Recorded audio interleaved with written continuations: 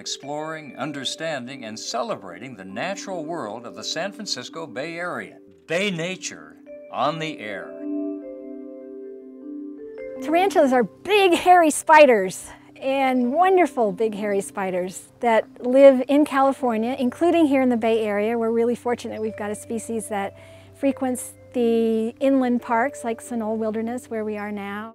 There's somebody with eight legs here that came to welcome you, this male tarantula. You're welcome to take a look at it now.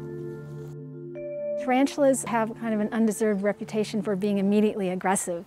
If you see a tarantula, the best thing to do is just say, oh my goodness, this is wonderful, and stop and watch it, see what it does. For one thing, it's a good way of looking at how an animal with too many legs manages to coordinate them all and walk in one direction.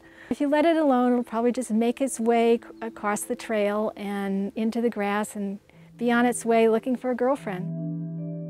Male tarantulas leave their burrows and start roaming around looking for females. Whether or not they find one or more, that's taken them seven or eight years to get to that point.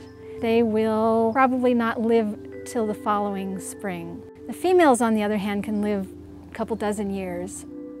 We generally don't see very many females, although we do have one in the visitor center. You can see she's laying the silk down right away.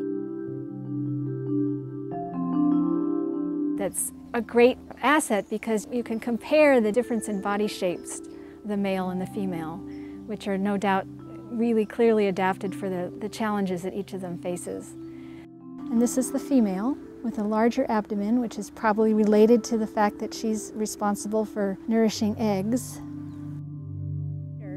So um, there's webbing in the dirt right here in the, in the tailings. Today we were looking at what looked like tailings from an excavated burrow, which is pretty exciting because you don't really see their homes that much unless you're really taking a close look. In California, we're really fortunate to have this particular species of tarantula so that we can look at big hairy spiders and enjoy their antics and get to learn more about them.